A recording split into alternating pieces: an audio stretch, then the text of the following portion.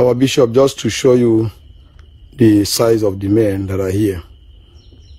There are many, and um, we are very happy that they responded to your call because most all of them shows that there's something that they mean what they are saying. And so that's why I decided to cover this so that you can see them. Thank you very much.